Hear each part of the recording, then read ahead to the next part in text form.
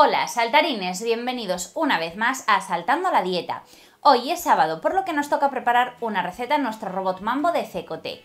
La receta que vamos a hacer hoy es la cebolla caramelizada. Es un básico en la cocina que podéis utilizar para muchísimas otras preparaciones. Y de aquí en adelante, cada vez que utilice un vídeo en Mambo que lleve cebolla caramelizada, os dejaré este vídeo para que recurráis a él para prepararla con antelación.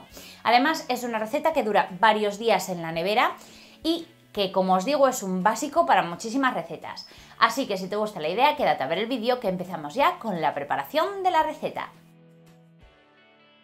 La lista completa de ingredientes para un bote de cebolla caramelizada os lo dejo abajo en la cajita de información y al final de este vídeo. Lo primero que haremos será poner en el vaso con las cuchillas colocadas 3 o 4 cebollas medianas en trozos. Ahora las vamos a picar programando 3 golpes de turbo de 2 segundos cada uno.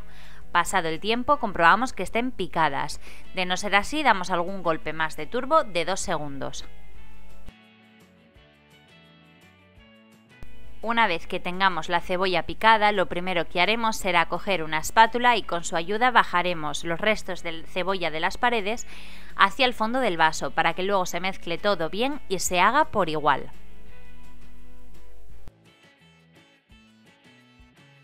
Una vez que tengamos ya bien repartida la cebolla en el centro del vaso, vamos a añadir 50 gramos de aceite de oliva, mejor si es virgen extra porque le va a dar un sabor muy bueno. También vamos a añadir 50 mililitros o gramos de brandy. El brandy si queréis lo podéis omitir, pero la verdad es que le da un toque increíble. Ahora también vamos a añadir 60 gramos de azúcar moreno, aunque si no tenéis podéis utilizar perfectamente azúcar blanco, pero el moreno le dejará un color más dorado y un sabor muy bueno.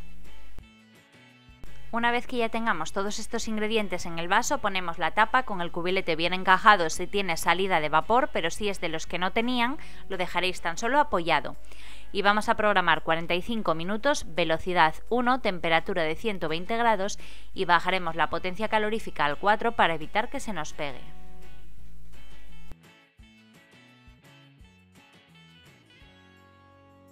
Pasado el tiempo, nuestra cebolla ya estará bastante cocinada, pero todavía no está terminada.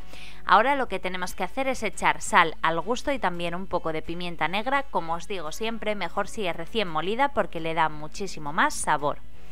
Volvemos a poner la tapa de nuestra mambo con el cubilete bien encajado si tiene salida de vapor o tan solo apoyado si es de los que no tenían. Y ahora vamos a terminar programando 10 minutos, velocidad 1, temperatura de 100 grados y en este caso bajaremos la potencia calorífica al 5. Pasado el tiempo, vamos a pasar la cebolla a un bol o a un tarro y ya podemos utilizarla a nuestra conveniencia, tanto fría como caliente. Una sugerencia, por ejemplo, para hacer esta cebolla caramelizada es la tortilla de cebolla caramelizada y queso de cabra que a mí me encanta y que os voy a dejar al final de este vídeo y abajo en la cajita de información. Si os sobra podéis guardarla en un tupper o tarro bien cerrada y conservarla en la nevera ya fría, no la metáis templada, hasta 15 días. ¿Qué te ha parecido la receta de cebolla caramelizada hecha en Mambo? Ya visteis que nuestro robot es muy fácil de hacer y como os dije al principio, es un básico para muchísimas otras recetas. Ya las hagáis en Mambo o las hagáis a mano, como por ejemplo hay una receta que a mí me encanta y a mis amigos también, que es la tortilla de cebolla caramelizada y queso de cabra. Pues aunque esa receta sea para hacer a mano, podéis preparar la cebolla caramelizada previamente en el robot. Por si queréis aprender a hacer esa receta, os la dejo abajo en la cajita de información.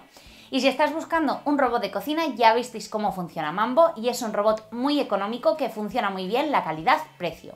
Abajo en la cajita de información también te voy a dejar el enlace a todos los modelos para que los veas en su web oficial. Y si te ha gustado esta receta, no olvides dar me gusta, suscribirte a mi canal abajo en el botoncito rojo si aún no lo has hecho y activa la campanita si quieres que YouTube te avise cada vez que yo suba un nuevo vídeo.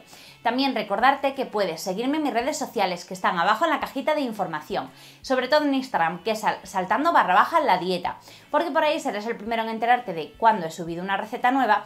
También ahí hago recetas distintas a las de YouTube, tanto las historias como las fotos y en IGTV.